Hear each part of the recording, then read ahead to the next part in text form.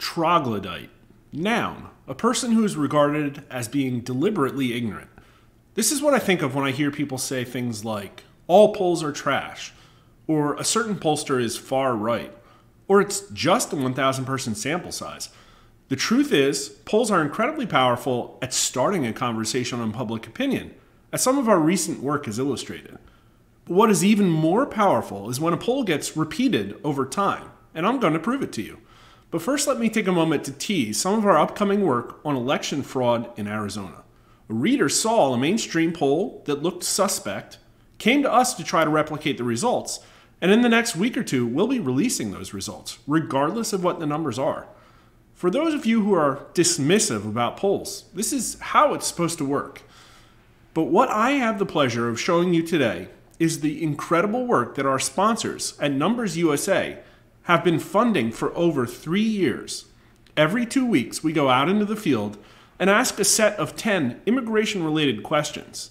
We then calculate an index number to track U.S. likely voters' opinions over time. I'll show you some of the questions, as well as numbers from the latest immigration run completed March 9th. Do you strongly favor, somewhat favor, somewhat oppose, or strongly oppose giving lifetime work permits to most of the estimated 12 million illegal residents of all ages who currently reside in the United States?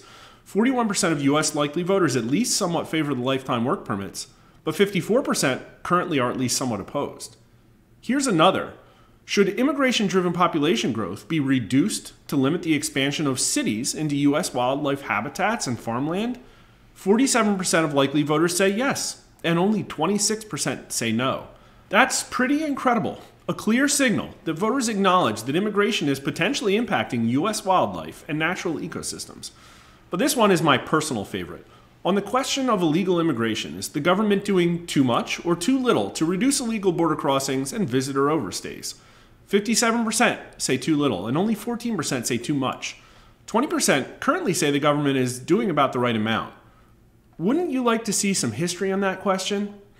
Here is the last year of data for those who say the government is doing too little. Remember my comment about polling and repeatability? This is a 1,250 person sample with a 3% plus or minus margin of error. That might sound large when you say it out loud, but if you look at the responses here, you can clearly tell there isn't a huge amount of variability. Clearly, a number of around 57% of likely voters say the government isn't doing enough to stop illegal immigration. But to illustrate the point further, here is the same data overlaid with a 7 point rolling average and the upper and lower 95% confidence intervals.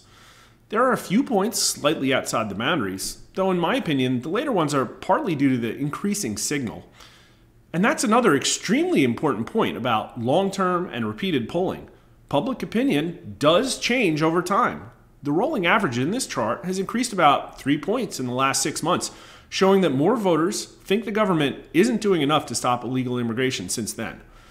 But if you think that's a signal, look at this chart that shows the entire three plus years of history on this question. And look at that swing. When did it start? a week before the presidential election in November 2020. On that day, only 35% of voters said the government was doing too little to stop illegal immigration.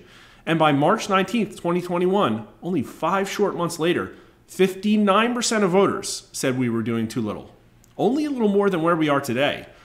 But now let me show you something else that has come up recently following the global racial discussion spurred by our polling that shows 53% of black Americans agree that it's okay to be white. Demographic subgroups, although they are smaller and have a wider margin of error than the poll overall, are still incredibly meaningful. To illustrate that, here are the results for the same question, highlighting the percentage of Hispanic likely voters who think the government is doing too little to stop illegal immigration.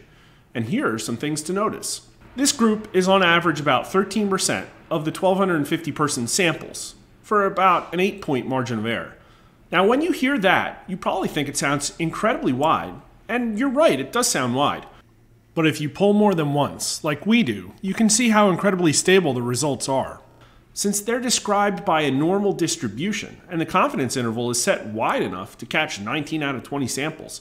And also check out how the shape of this is a little more flat than the graph we had for all voters.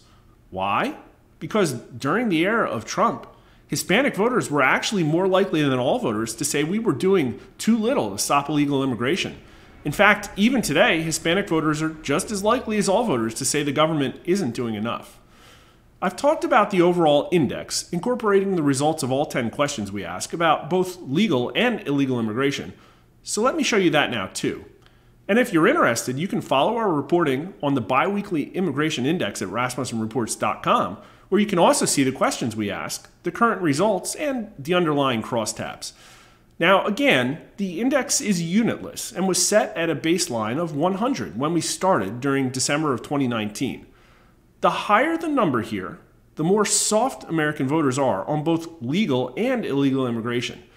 Now, President Trump was already making headway on his wall, and sentiments drifted around a bit. Likewise, coronavirus didn't seem to affect opinions much overall, though the numbers started ticking down considerably during the back half of 2020. My hunch is that some of that was driven by Trump's anti immigration campaign rhetoric.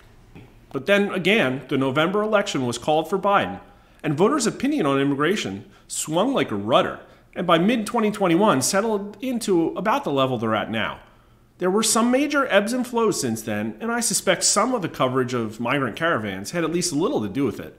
But voters, by and large, remain just about as hard on immigration now as they did a few months into Biden's term. But why do we ask these questions over and over? Is it information overload? Our partners at Numbers USA actually use this information to attempt to achieve meaningful change on immigration policies by showing the bipartisan support that these issues have. Take e verify, for example. Here's the question In trying to control illegal immigration, should the government mandate that all employers use the federal electronic e verify system to help ensure they hire only legal workers for U.S. jobs? As of the last reading, 66% of U.S. likely voters say yes, and only 19% say no.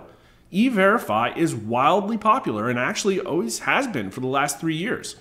We also sometimes get the chance to ask these questions at the state level, and the results are even more interesting, especially for areas where immigration is more of a concern. Here are the results from Florida, asked this most recent November. 72% of Floridian likely voters said yes to e verify, and only 15% said no.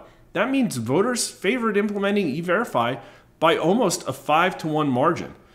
And wouldn't you know it, here's a National Review headline from this February. DeSantis calls for universal e verify in Florida. I'll link this article in the description. It's a pretty good read, and it, it astutely points out that a lot of businesses have lobbied against e verify. And as we've illustrated, that's directly opposed to the will of the people. Now, what's the good news? E verify is already in some states, but it's also in various stages of implementation in others, and we'll increasingly get to see the impact on immigration levels, jobs, and the economy in general. Thanks for hanging out with us for this lesson in polling. Subscribe at Rasmussen Reports to see more coverage on immigration. And please check out our sponsors, Numbers USA, who I'll link in the YouTube description.